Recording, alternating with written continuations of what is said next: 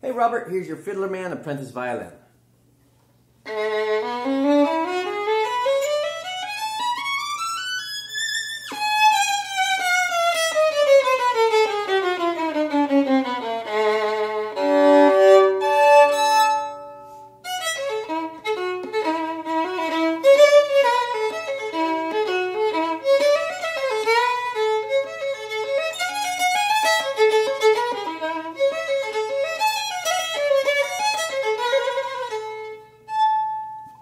This violin is approved by me, Fiddler Man.